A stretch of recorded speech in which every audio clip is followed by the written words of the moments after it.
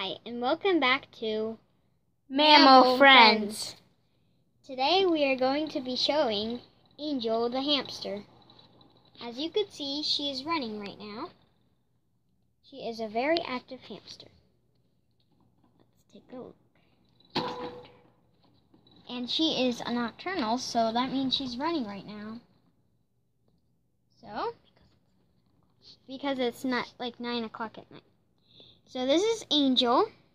She is a, Chinese dwarf hamster. She's pretty big. She kind of looks like a squirrel. She's not, but she's not. But she's not commonly known. So, as you can see, this is Angel. She is just little. She's not little as teeny like our last video, but she is kind of little. And if you haven't seen that last video, go back and check that out then. It's called Teeny the Mouse.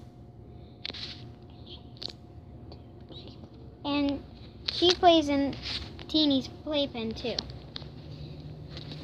So here we have Angel.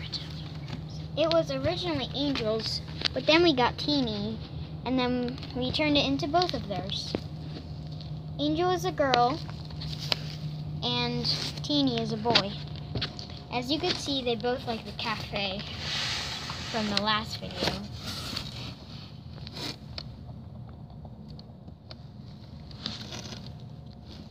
It's She's very active right now because it's nighttime, and she sleeps mostly during the daytime. so she is a very active pet. Well, we got her at PetSmart, and she was about fifteen dollars.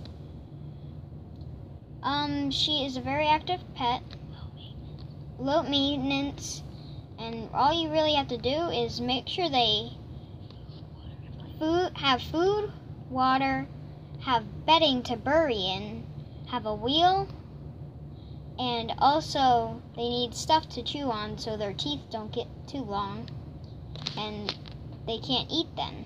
So they have to have something to chew on. So as you can see, I'll put her in here. As you can see, we have her wheel. Sorry if you can't see, it's a little bit dark. Here we go. So we have her wheel. And we have the bedding.